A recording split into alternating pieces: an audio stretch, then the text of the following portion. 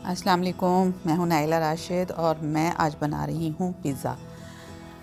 Pizza chicken का बना रही हूँ और सारी डिटेल जो है मैं आपको लिंक देती हूँ क्योंकि मैं पहले भी आपको बता चुकी हूँ पिज़्ज़े की पिज़्ज़ा की पूरी रेसिपी। तो मैं आपको लिंक देती हूँ डिस्क्रिप्शन बॉक्स में, आप उसे चेक कीजिएगा।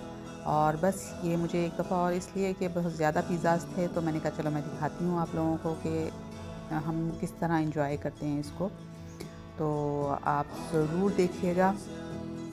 और मैंने ये बच्चों के लिए अलग बनाया था जिसमें खाली मैंने टमाटो पेस्ट और टमाटो केचप और आ, बस चीज़ डाल दी थी उसके ऊपर। और बच्चे कोई सब्ज़ी वगैरह पसंद नहीं करते। तो बहुत ही ज़बरदस्त किस्म का पिज़्ज़ा बना। आप लोग ज़रूर ट्राई कीजिए। बहुत ही इजी रेसिपी है। इन मैं फिर आऊँगी किसी नई रेसिपी के साथ। जब तक के लिए अल्लाह हाफिज़।